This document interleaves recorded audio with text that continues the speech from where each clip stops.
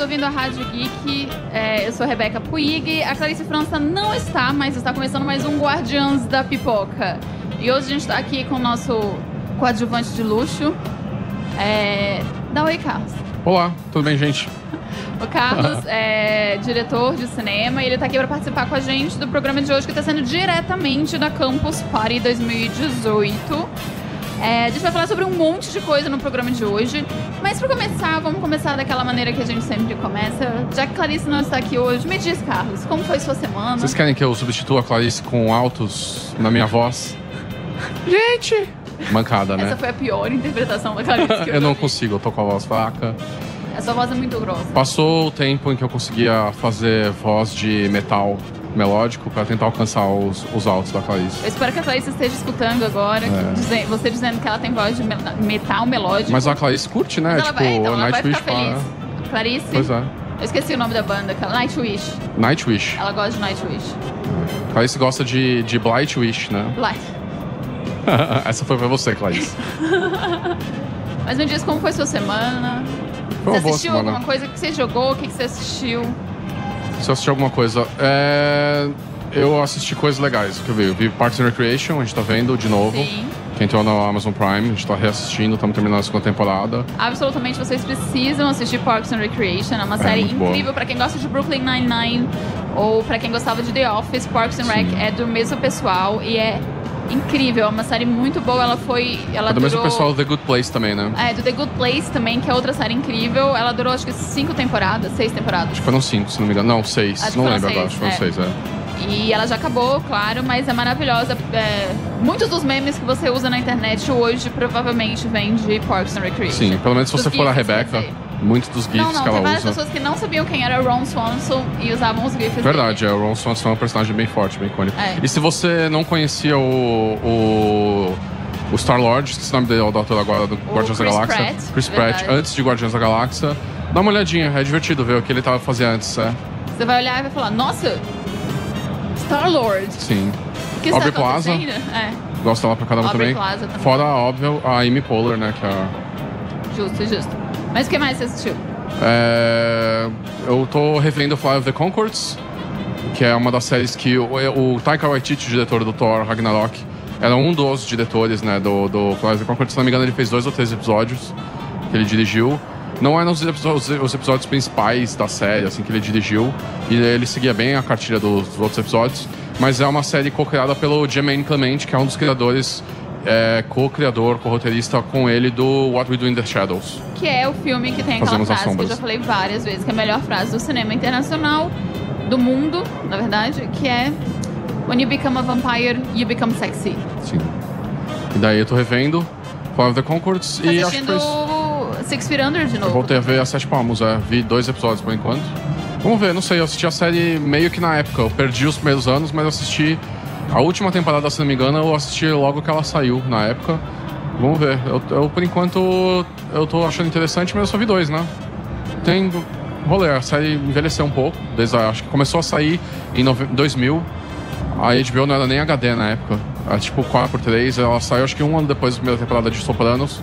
Família Soprano, mas foi uma das séries que, para os americanos, foi uma das séries que começou a era de ouro da TV, né? Então, é, o diretor, o, o criador, roteirista do. do ele era roteirista do, do Beleza True Blood. Americana, o Alan Boyle, Ah, depois ele fez True Blood pra HBO também. Mas é bem diferente, né? O sete, Six Feet Under, Sete sim. Palmos do, do True Blood. É isso. Que é Bom, eu assisti muito dorama essa semana também. Imagina. Mas eu assisti. né, Nós assistimos, né? Black Lightning. A gente acabou assistindo Verdade, só o piloto. só gente- piloto. Acho que a gente não falou aqui na rádio ainda sobre Black Lightning. Falta que é a nova episódio série ainda. de super-heróis da DC. A gente assistiu o piloto e é incrível, eu gostei bastante. Bem bom. Se você tá assistindo, você pode dar um pulo no Preta Nerd Burning Hell, que a Sim. Camila tá fazendo um recap de todos os episódios. É, eu, infelizmente, não, tô, não consegui assistir dessa, dessa semana ainda. Mas, nossa, tá. Eu gostei bastante, assim. E a série promete muito. Eu vou dar um Sim. pequeno spoiler pra você que talvez esteja pensando, mas vale a pena assistir essa nova série? Vou te dizer que é possível que nos próximos episódios nós conhecemos uma super-heroína negra e lésbica.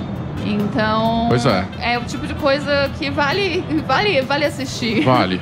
Eu acho que. Eu, eu acho que provavelmente vai ser bem feito. Pelo que a gente Sim. viu no, no piloto, É.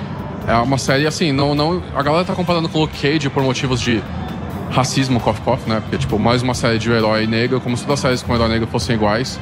É, ela é bem diferente, obviamente, Ela do é Luke muito Cage. diferente. É uma série que, assim, se for tiver que comparar com outra série de heróis, com outras séries de heróis, ela é uma, é uma série que tem um, um tom um pouco mais parecido com Supergirl, com Flash, mas tem um tom muito próprio dela também. Eu acho que, com certeza, um, é, apesar de cruzar com esse universo de leve, né? Eu acho que não. Ele não é no mesmo universo, mas a galera prometeu que talvez tenha um crossover É, imagino multidimensional, provavelmente- que é, é, que eu é o- imagino que provavelmente ele, é, Black Lightning deve fazer parte do próximo do próximo grande crossover da DC na, na televisão. né? É. Sim, mas é uma série que eu acho que já tem uma linguagem e uma. é, muita coisa da série já é legal. É, assim, o, a linguagem da série já é diferente dessas outras séries da, que a CW estava fazendo antes, baseadas nos quadrinhos da DC.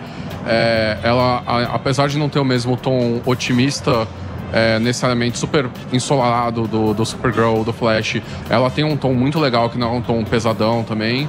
Eu não sei, é uma série bem legal, gostei. Do, pelo menos do que a gente viu até o piloto, eu achei bem interessante. é. É, eu também achei, eu achei dessas últimas séries da, da DC, eu acho que a série, eu gosto bastante de Flash, eu gosto de Supergirl. Eu tô atrasada nas duas, essa é real, mas é, eu senti que é uma série que sabe melhor desde o começo o que é e pra Sim. onde quer ir. Eu senti ela melhor estruturada, assim.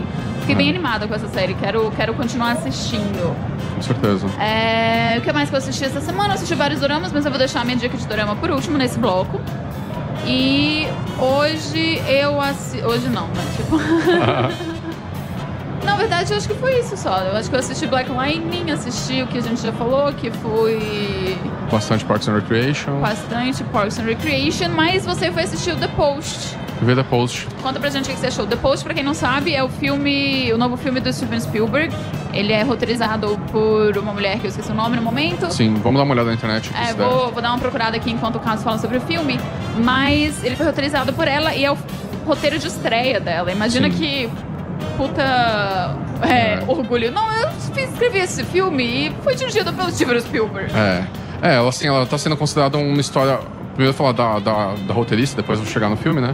Ela tá sendo considerada uma história de sucesso já dentro de Hollywood.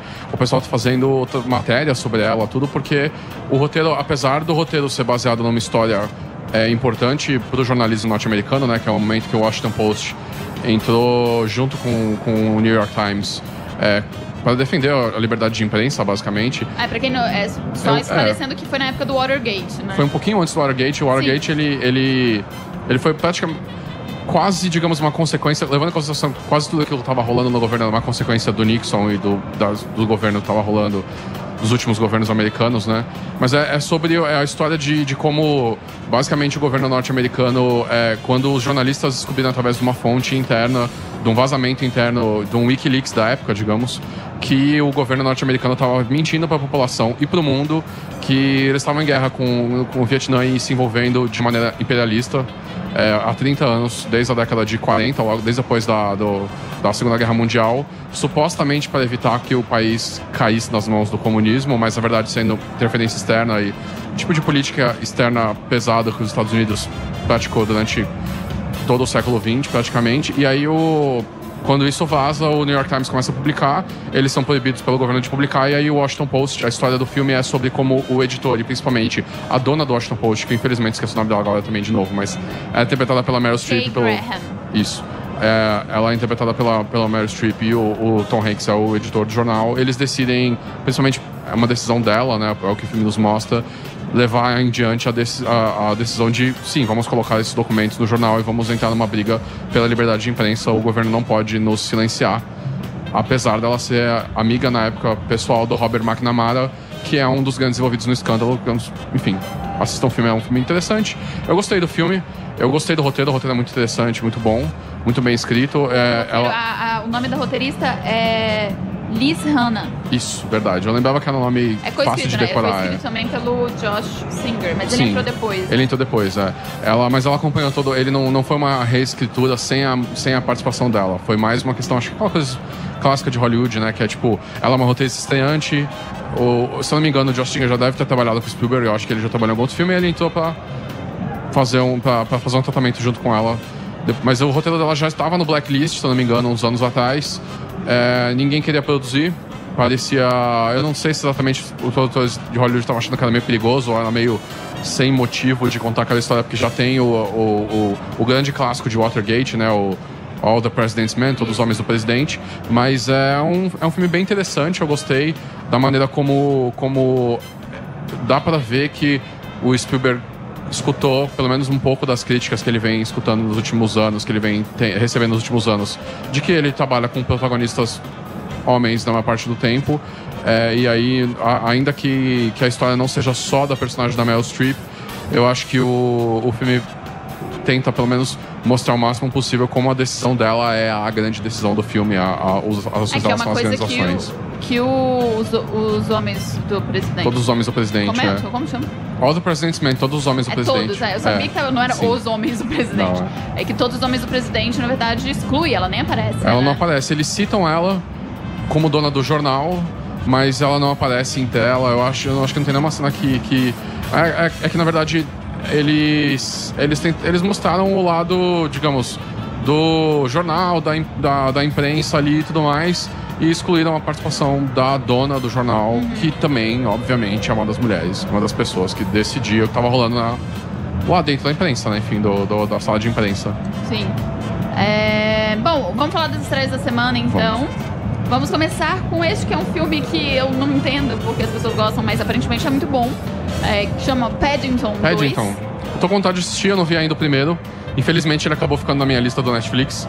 E a minha lista do Netflix ela é tão grande que o Netflix me proibiu um tempo atrás de adicionar mais coisas. Quase tudo que eles têm lá eu quero assistir. Mas é. Mas eu. Tá lá, eu vou assistir essa semana ainda, pretendo ver o 2. Vou ver legendado, porque eu não sei se a, a dublagem é uma daquelas dublagens que o. Não, a dublagem a galera... é pelo Bruno Gagliasso, Márcio Garcia. Tem uma participação especial de alguém que participou do Masterchef, se eu não me engano. Ou um personagem. É, é aquela coisa, vamos chamar o Luciano Huck pra dublar, sabe? O cara não é ator, não é dublador. O que, que ele tá fazendo é. na dublagem? Mas enfim, é um filme que é pra família toda. Dizem que o primeiro é muito legal, que o segundo tá mais legal ainda. O que me fez ficar interessado pelo Paddington não era porque eu conhecia o livro antes nem nada, ou pelo elenco, que é bastante gente famosa, mas é porque o diretor do, do primeiro e também do segundo, e eles estão para anunciar um terceiro, provavelmente, porque fez muito sucesso. É o Paul King, se eu não me engano, King. que é o diretor de The Mighty Bush, que é uma das sitcoms, Britcoms é mais legais. Assim, quem gosta de, de, de comédia de TV séries de comédia e que quer ver uma série bem dirigida, provavelmente, assim, as duas séries que eu acho que são mais bem dirigidas, todos os episódios é, de, de, de, TV britânica são o Spaced, que é o Edgar Wright, é o diretor, dirigiu todos os episódios. E o The Mighty Bush, que o Paul King também fez, dirigiu todos os episódios. É uma série britânica, quer dizer, tem 20 episódios, 3 temporadas. Você termina de ver rapidinho. É uma série super boa, super legal. Mighty Bush, Mighty Bush é uma série muito divertida. Tem os seus problemas, tem. principalmente pensando... Sim na época, assim, mas é uma série, assim, é muito série dorgas, né? É uma série, é, é, uma série tipo, muito psicodélica. Você tem que curtir aquele aleatório. humor aleatório, você tem que curtir o humor do absurdo. Sim. Mas é uma série muito boa. É, uma série que eu acho que o problema que eu, pelo menos eu vejo hoje em dia na série, a série do começo é de 2004 a 2008, se não me engano, não foi, não saiu todo ano. E o grande rolê é que muito do humor da série vem dos personagens se vestindo de tudo quanto é tipo de personagem. Então, é. assim, a série tem blackface, a série tem eles se vestindo de mulheres. Tem brownface. Tem brownface. E, e assim, o, é, é uma coisa que eu acho que vem do fato de que esse tipo de humor, naquele momento na Inglaterra, ele, era, ele é um humor que vem do imperialismo britânico, né? Uma visão, tipo. Gente, eles têm contato, tiveram contato com culturas do mundo inteiro pela maneira como o país se construiu, né? Como se construiu a riqueza do país.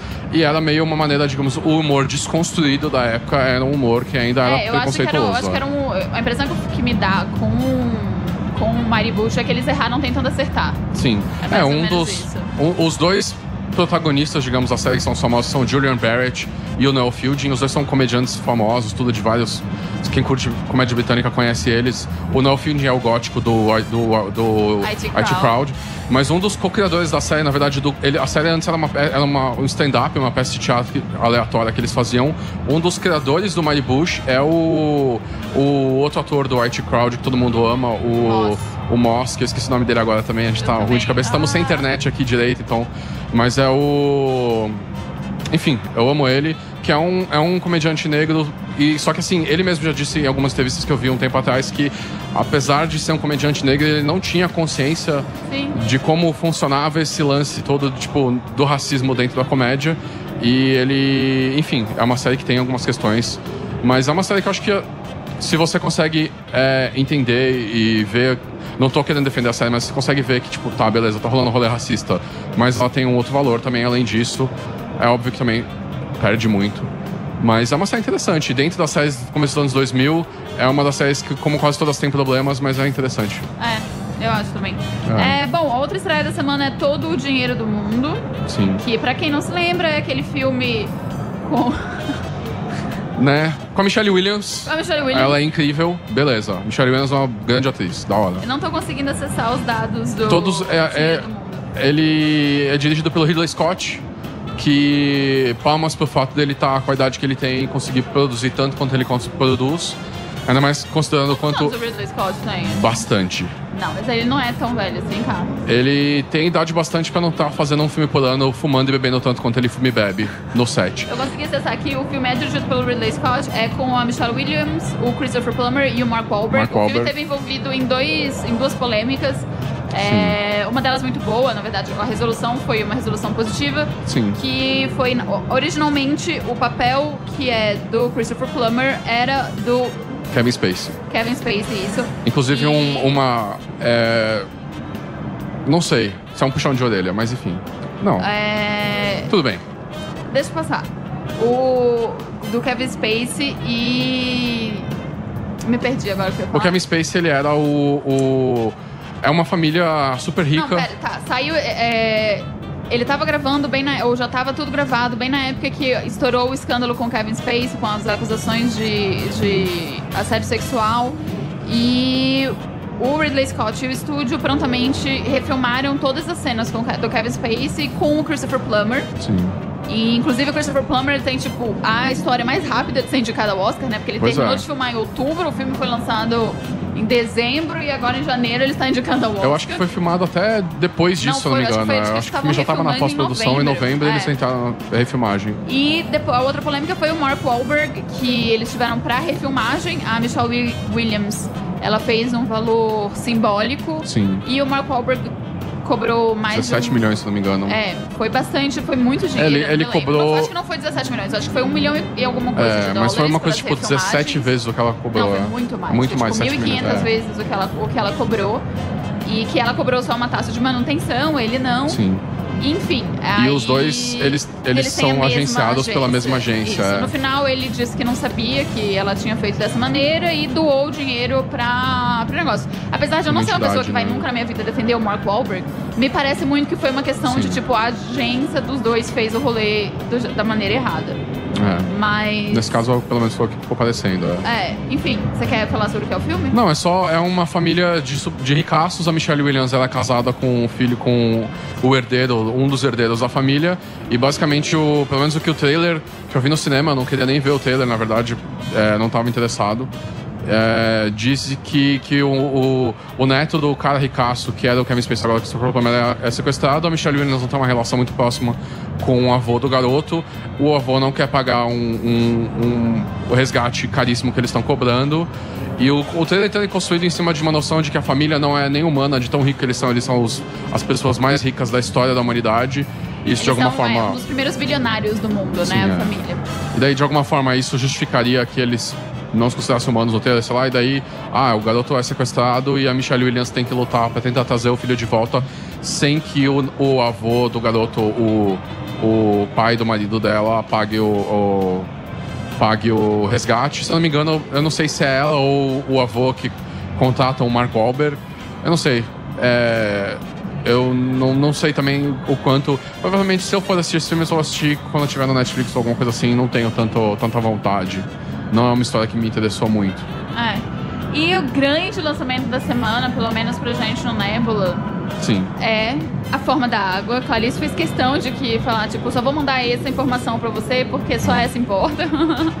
Mas A Forma da Água, novo filme dirigido pelo Guilherme Del Toro, tem no elenco Sally Hawkins, Michael Shannon, Richard Jenkins. Sim. É, Otávio Spencer. eu sempre falo Butler quando eu vou falar Spencer, Sim. é incrível.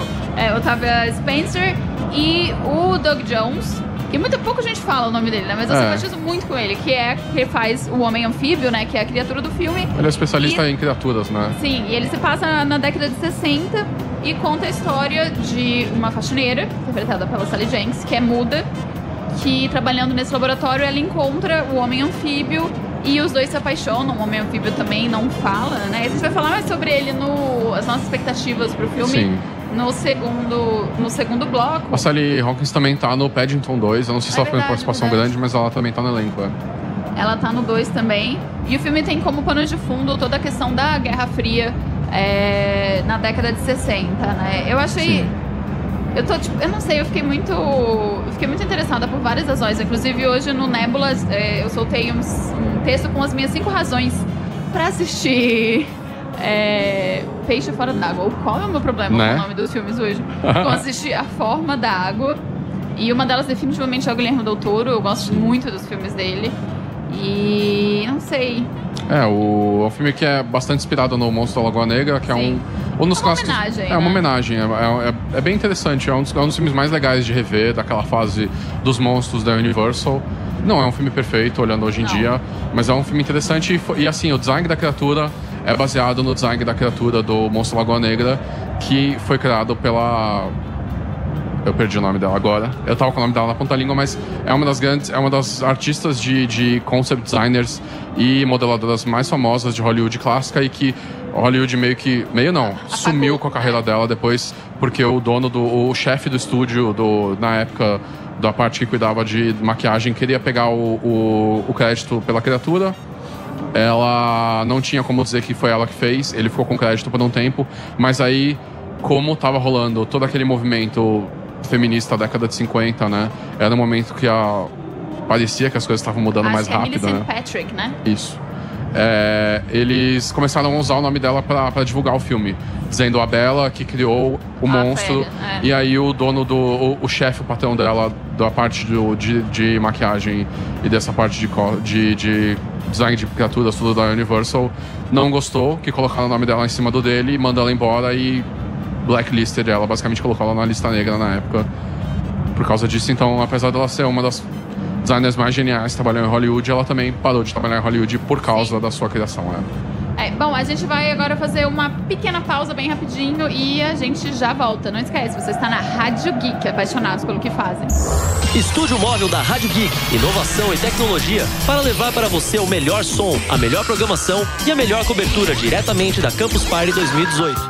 Galera que está curtindo a Campus Party e escutando a Rádio Geek, não percam a oportunidade de conhecer e se hospedarem no hotel mais descolado, criativo, eclético, original e positivo de São Paulo.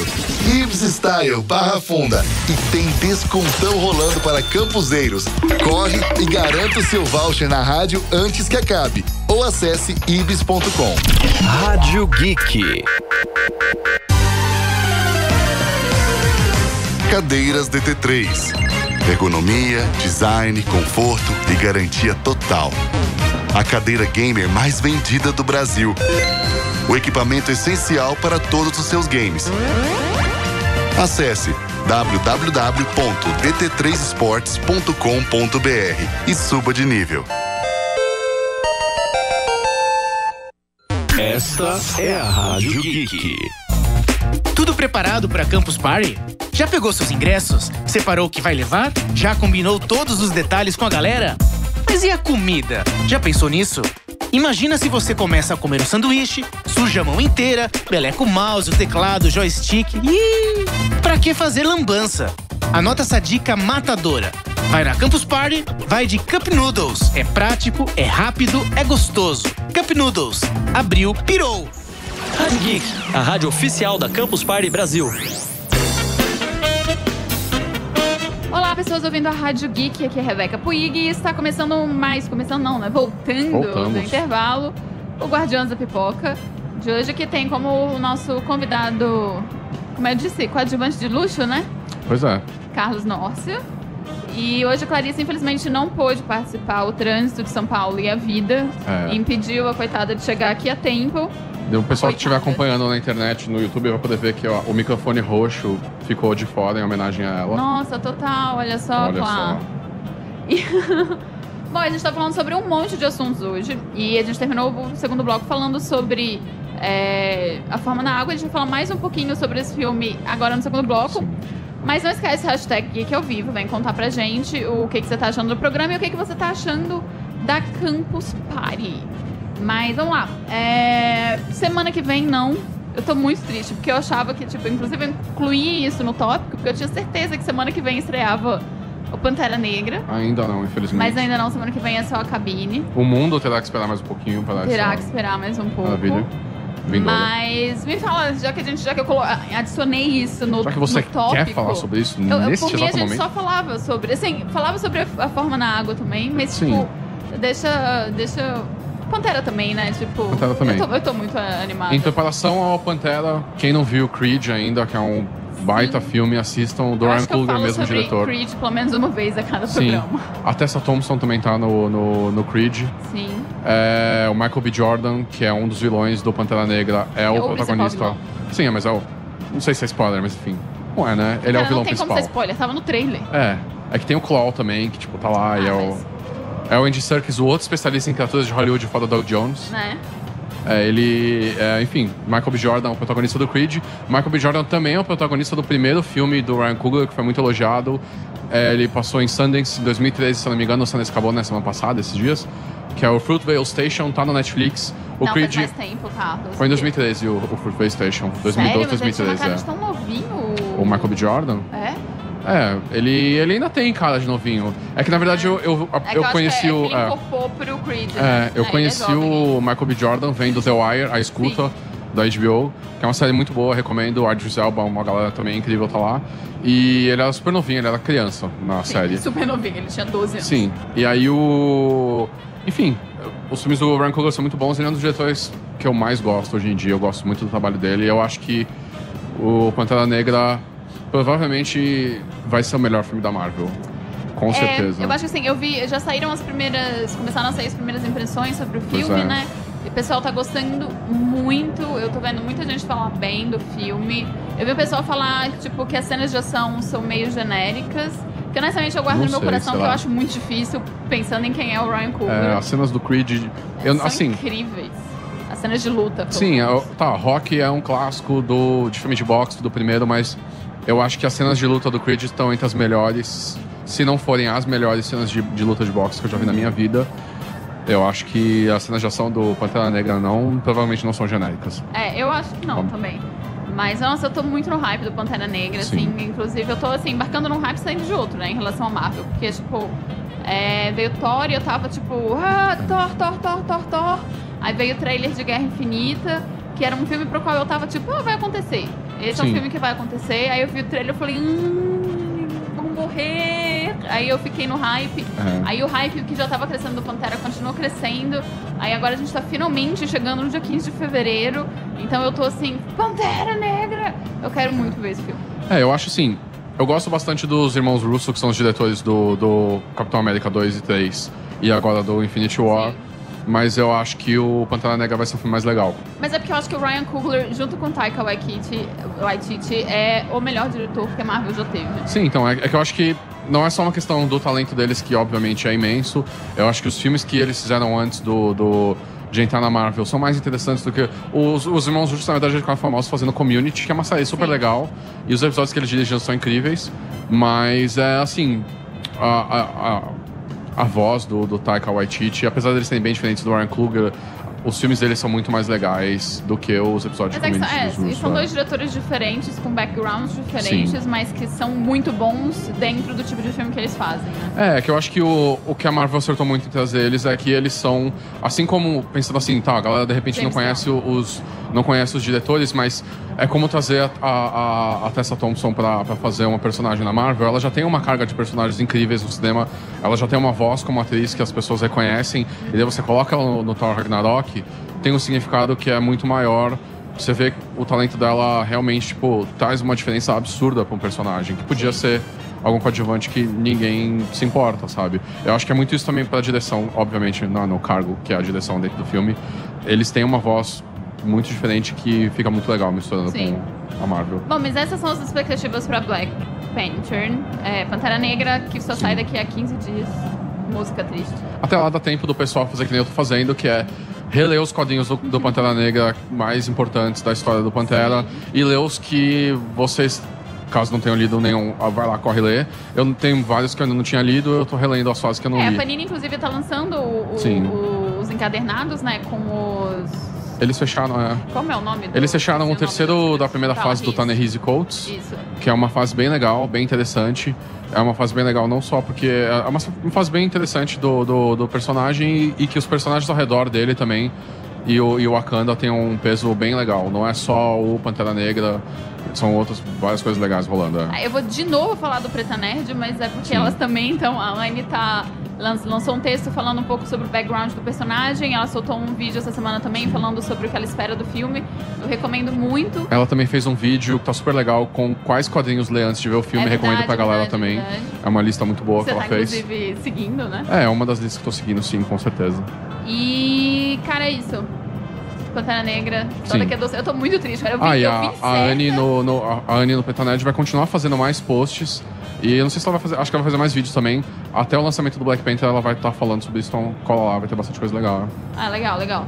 E, tipo, eu vim muito certa, tipo, porque como a cabine é semana que vem e a gente vai estar liberado pra falar do filme logo depois da cabine, eu tava, não, semana que vem estreia o filme já. Eu tava, tipo, e é, aí eu fui comprar o ingresso e, tipo, não. Inclusive já tá vendendo é, os ingressos pra pré-estreia, corram lá pra Pantera Negra. Inclusive bateu, né? Sim, o recorde de- de, de- de- venda de, pré, de é. ingressos em pré-estreia nos Estados Unidos. Mas vamos então falar de A Forma da Água, Forma da água. que é um filme que a gente ainda não assistiu, mas estamos sofrendo por Ansiosos. ele. Ansiosos. A gente não tá neste momento assistindo porque a gente tá aqui com vocês. Exatamente. Aprecia essa demonstração de carinho imenso. Total. Um grande afeto que a gente tem aí. Mas, enfim, A Forma da Água, dirigido pelo Guilherme Del Toro.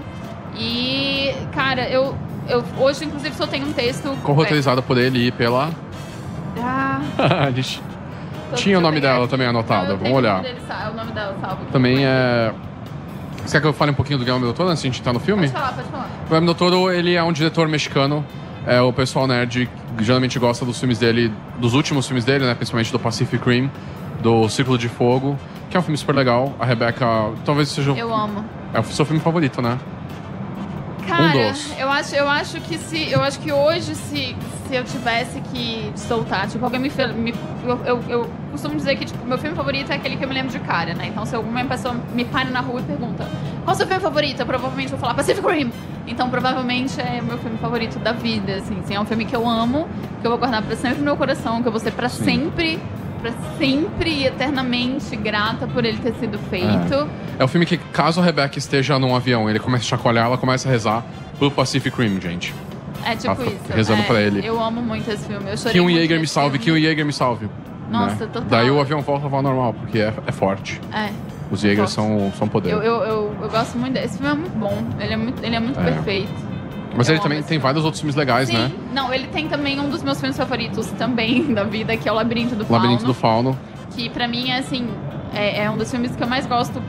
Eu acho que é muito difícil você ver um filme que consegue contar uma história, é, uma fábula tão dark, tão pesada e de uma maneira tão humana e que consiga passar uma mensagem tão boa. Hoje, quando É. eu tava escrevendo sobre os, os filmes, as razões pelas quais eu tava indo assistir, eu me dei conta, na verdade, que é, eu gosto muito dos filmes do Guilherme Del Toro porque eles são filmes que têm personagens femininas muito legais. Sim. É, Desde o início da carreira dele. é, né? e o Pacific Rim é, é um filme que, tipo, tem a Mako, que apesar da Mako ser, de certa forma, ela caber dentro daquele estereótipo de mulher japonesa que vai, quer pilotar robôs gigantes porque quer uma, uma, uma vingança, ela não é só isso. É. E isso é muito legal, assim. É, tanto que quando a gente fala que o Pacific Rim, ele falha no Battle Test, né? Sim, é. É, mas criou-se o Mako Test, que é exatamente porque apesar de ter só uma mulher, ela é uma personagem muito boa. É. Então, eu não sei, é amor. É, e o, eu acho que o, o Labirinto do Fauno é um dos, é um dos filmes que mais me deixa empolgado de ver o, A Forma d'Água, porque o Guilherme Del Toro, ele, ele é latino, né, gente? Ele é mexicano, então é, eu acho que o, o rolê dele com realismo fantástico, com realismo mágico, é diferente de um diretor americano trabalhando no mesmo... Esse é um gênero latino-americano que tem muito a ver com a história da, da América Latina. E eu acho que ele, ele trabalha nessa chave muito bem. Ele é um dos diretores que melhor trabalha nessa chave. Os filmes dele da década de 90 tem muito disso, Cronos. Ele foi um dos diretores, ele dirigiu e escreveu, é co-roteirista e diretor do segundo Blade. O Blade é a franquia que começou a Marvel no cinema, né? Que Verdade. começou, como a Anne disse dias no vídeo dela, e é verdade, é um dos primeiros filmes legais de herói que fez com que existisse a fase de filmes legais de heróis hoje em dia. É, e ele tava, tipo, e é uma coisa que é interessante também na carreira dele, que ele é um cara que consegue unir o autoral, o pessoal, com o que é comercial. Então, pô, ele foi lá e fez o Blade 2. E a gente não tá falando do cara que sumiu, ele tá. É o, o filme mais indicado do Oscar desse ano, é um filme não realista. Sim, é um filme realista de realismo mágico, não é um filme realista, que é geralmente a história do Oscar. Então, o prêmio que, americano, que geralmente premia cinema realista, vai premiar ele, provavelmente, E ele sabe? fez Hellboy, né? Hellboy Sim. e Hellboy, Hellboy. 2, pra mim, apesar de. Tipo, eu. Eu, tô, eu fiquei inclusive chateada que tá rolando esse reboot do Hellboy, porque eu acho que é um não precisa, dois ninguém quer. Mas ok, mas. Até porque eu acho que Hellboy, cara. Nossa, pra mim, assim, pensando em filmes de ficção ci- de super-herói, eu diria que Guardiões da Galáxia só existe porque Hellboy foi feito. Com certeza. Porque é o primeiro. É um filme de super-herói que, tipo, ele quebra com todo o rolê estético, É. sabe? Inclusive o Doug Jones, que faz o, o Homem Anfíbio do Shape of Water, ele também é. Ele faz wave sappings Wave é. do, do Hellboy 1 e do Hellboy 2. E, cara. Nossa, eu amo Hellboy. Eu acho, eu acho, tipo, pode ter seus problemas, etc. O Hellboy 2 pode não ser um filme tão legal quanto o primeiro, mas nossa, é um filme. É que pra mim o rolê do, do Guilherme Del Toro é que ele tem coração, sabe? Então, tipo, Hellboy é um filme sobre um demônio cujo destino é destruir o mundo, É. tentando ser uma pessoa melhor. E é lindo, sabe? Tipo, eu É acho bem legal. bonito, assim, sabe? E pra mim, é, só falando rapidinho sobre o Labirinto do Fauno, pra mim eu tenho uma ligação mai- mei- meio pessoal, familiar com esse filme também. Porque os meus bisavós e meus avós foram tiveram que sair fugidos da Espanha, né, durante a ditadura do Franco. E pra mim, assim, assistir esse filme, etc, é um filme que tem três personagens femininas, que são personagens femininas muito legais. Tem a, a, a- meu Deus, esqueci o nome dela. A protagonista, Ofélia. Ofélia, isso, eu tava com Sofia na cabeça. Com a Ofélia, que é assim, uma protagonista feminina incrível. A, a, a mulher que ajuda ela, a, a Miranda, eu acho. Se não me engano, é Não me isso. lembro é. exatamente se é esse o nome, eu sei que é com M. E a Carmen, que é a mãe dela. E, eu- e, tipo, eu gosto muito, assim, são três mulheres em situações diferentes dentro da guerra. Uma criança, uma revolucionária e uma mulher presa num casamento com um militar, com um cara que matou o marido dela. É. Então é tipo... E é, é um negócio assim, nossa... Todas elas resistindo, na verdade, inclusive a mãe da. É bem Sim. legal, é. E é um negócio assim tão, tão forte pra mim, assim, sabe? E eu me lembro que eu fui assistir.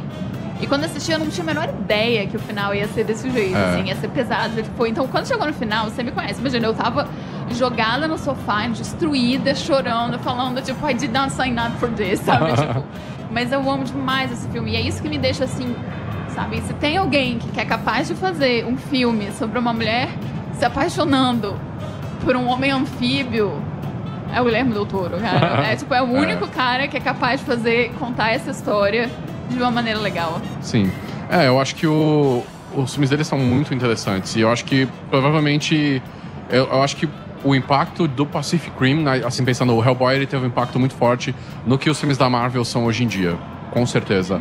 Eu acho que o, o Blade 2 também, ele também é um filme mais interessante do que um, um 2 do Batman ou de outros seriam naquela época. Ou talvez o 3 do Batman, vai, pra não ser polêmico falar. Tim Burton não fez um bom trabalho no segundo Batman. Eu acho divertido, mas enfim.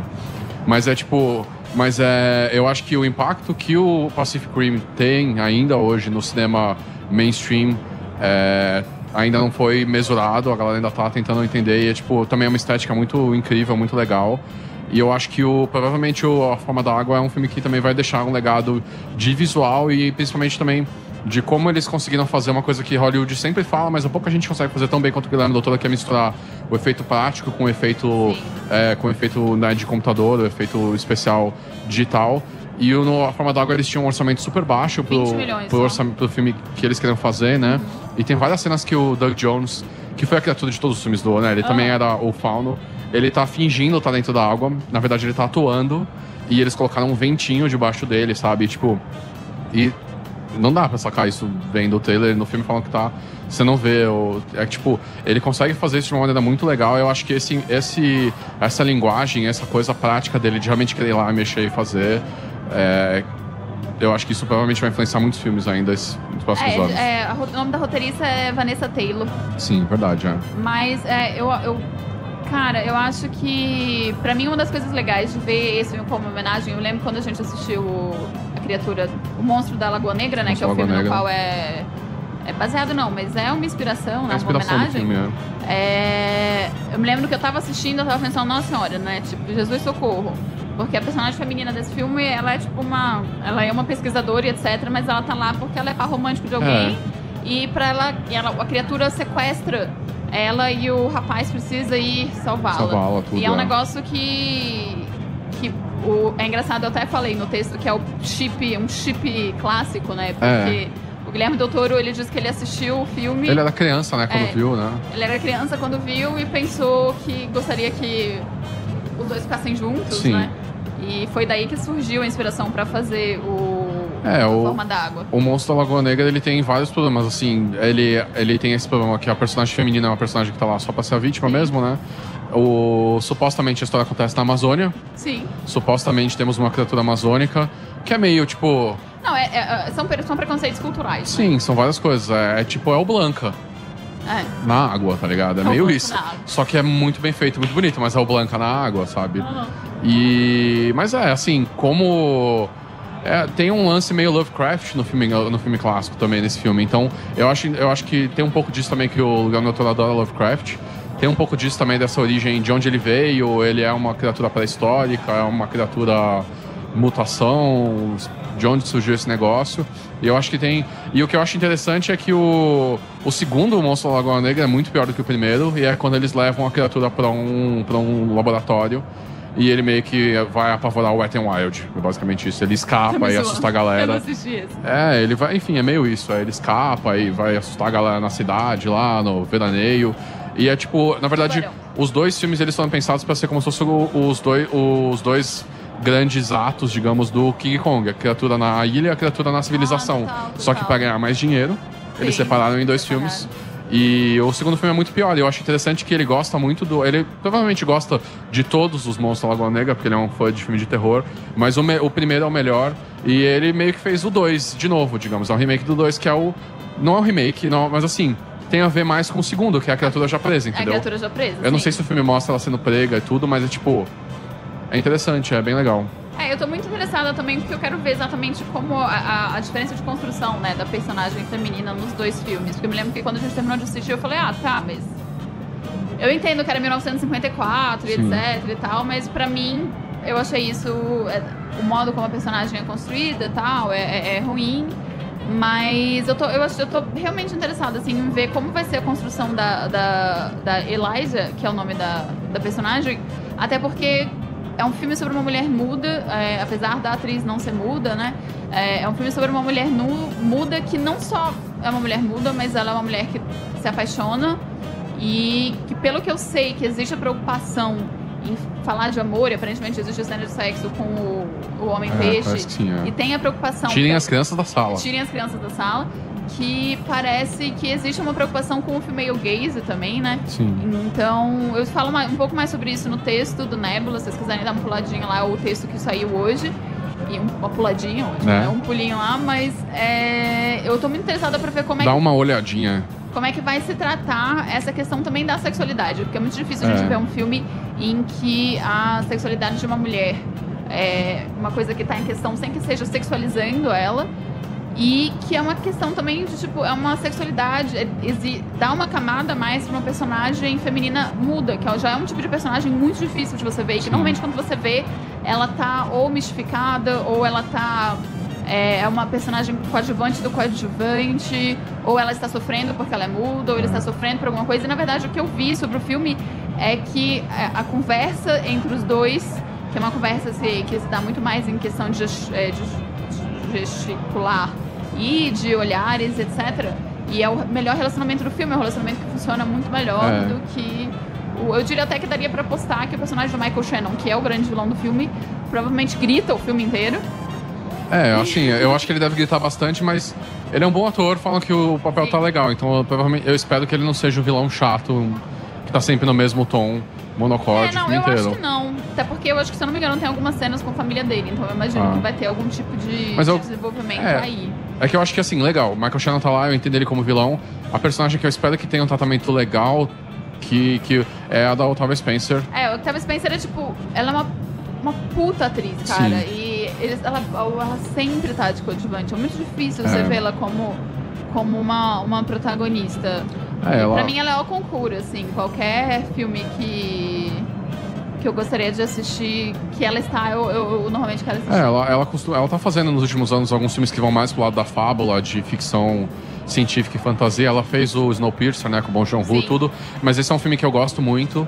Eu gosto dela estar lá, mas que eu acho que a personagem dela não é tão desenvolvida quanto poderia ou deveria ser. Eu acho que tinha muito mais espaço pra Octavia Spencer lá. É, e ela falou esses dias também, né, que conversando com a hum, Jessica Chastain, que elas são amigas, Sim. ela falou que ela gostaria de fazer uma comédia que se passasse. É, que a Jessica Chastain tava falando que queria fazer uma comédia, a Octavia Spencer falou: beleza, vamos fazer, mas eu quero que você passe no presente, porque eu não aguento mais Sim. vestir com roupas de época. Ou do presente ou do passado, é. É que é uma história bem legal Loucura. também, né? De, tipo, de como ela. Aliás, a Octavia Spencer, ela é uma pessoa muito fofa. Ela É verdade. incrível. Ela, tipo, na época que saiu é, Estrelas da Manhã, Estrelas Além do Tempo. Além do Tempo, isso. Estrelas Além do Tempo, ela comprou ingressos é, pra levar uma Ela fechou salas, né? fechou pra levar pra galera salas pra doar pra levar ingresso. uma galera é, americana. E agora também no Black Panther, ela disse que ela fechou salas de novo pra levar o pessoal de Community Sim. Center e etc. Então, tipo, isso na verdade é uma coisa que tá acontecendo lá também. Eu vi esses dias na, no Ellen, na É. Ellen, né? Uma. Uma, exatamente uma organização, uma, uma organização para levar o pessoal de um community center do, do esqueci o bairro de Nova York. É, mas é, é uma coisa super legal é que eu acho que é importante pra caramba, né? É uma representação muito importante. Sim, é legal que a galera é, tenha acesso. É. É aquilo que a gente fala, cultura pop, filmes, etc. É uma coisa que tá muito. que, que representa muito, né? Não é, a, gente, a gente gosta disso porque a gente se assistiu quando É. a gente era criança, etc. E eu, é, e é é uma questão muito. Eu acho que eu, eu queria que isso viesse mais também, não só da Octavia Spencer, mas fosse também uma coisa que viesse mais do estúdio, da- das instituições que fazem parte do, da produção do filme, porque, querendo ou não, esse. Mesmo a forma da água, de certa forma, mas principalmente Black Panther, são filmes que falam de minorias, e essa história dessas minorias está envolvido com, com um monte de coisa que, tipo, cara, vamos levar a galera que faz parte dessas minorias e que não tá indo no cinema, vamos, vamos deixar essa galera assistir, sabe? Exemplos positivos pra de repente a pessoa vai, alguém, uma criança vai lá ver o Black Panther, tipo, sim, sei lá, animal, pode mudar a vida de alguém, tá ligado? É. Os filmes podem fazer isso. Vamos lembrar que eles podem fazer isso toda hora. Mas é isso, gente. É, pra você que tá na Campus Party, a gente tá aqui do ladinho do stand da TNT. Então você pode vir aqui, tem até fila, tem bastante Tem- fila tem aqui, fila. né? Pra tomar, porque pra aguentar essas muitas horas de Campus Party, se pá, um energético vai dar uma ajudadinha. Pois é. e não esquece, você está na Rádio Geek apaixonados pelo que fazem. Até semana que vem. Estúdio